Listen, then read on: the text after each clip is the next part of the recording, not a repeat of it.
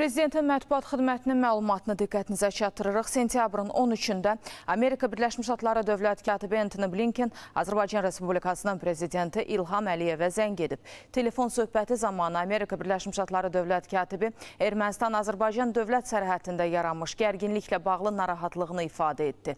Prezident İlham Əliyev bildirdi ki, bu gərginlik Ermənistanın geniş miqyaslı təxribatları nəticəsində baş verib və buna görə də məsuliyyət tam şəkildə Ermənistanın Ermənistanın siyasi hərbi rəhbərliyinin üzərinə düşür. Anthony Blinken Amerika Birləşmiş Ştatlarının regionda davamlı sülhün və təhlükəsizliyin təmin olunması və Ermənistanla Azərbaycan arasında münasibətlərin normallaşdırılması üçün öz səylərini davam etdirəcəyini qeyd etdi.